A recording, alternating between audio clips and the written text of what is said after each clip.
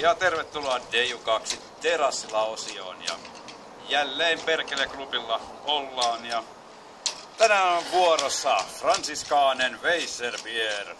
Eli erittäin hienon näköinen olut. Saatiin vielä oikea tuoppikin. Ja tuoppi sopii käteen aikaa napakasti. Ja kuten aina ennenkin lähdetään maistelemaan miltä tämä maistuu.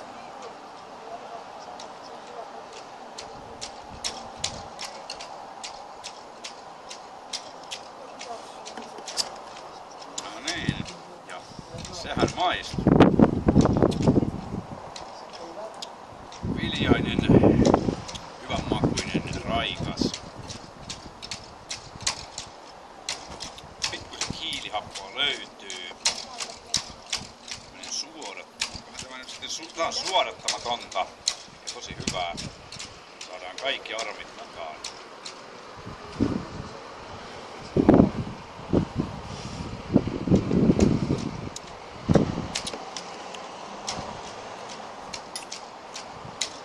Ja, ja maku ei muutu parin oton jälkeen, eli edelleenkin jää viljoinen maku.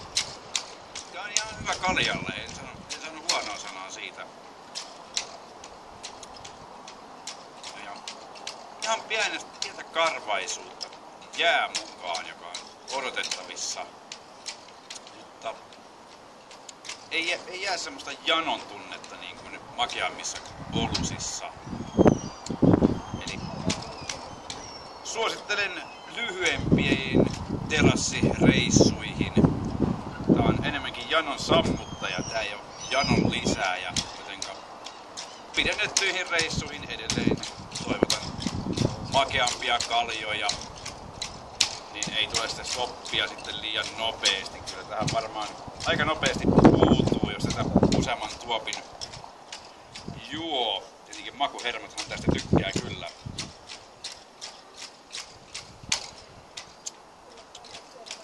Ja mitään, erittäin hyvää kaljaa. Ja Sieltä se kesä saapui taas Suomeen. Ja näihin kesäisiin tunnelmiin Deju kiittää, Deju kuittaa ja jos tykkäsit, niin tykkää, jos tykännyt, niin älä tykkää. Kunhan nyt painat jompaa kumpaa peukkuun, niin on ihan hyvä. Ja moi moi!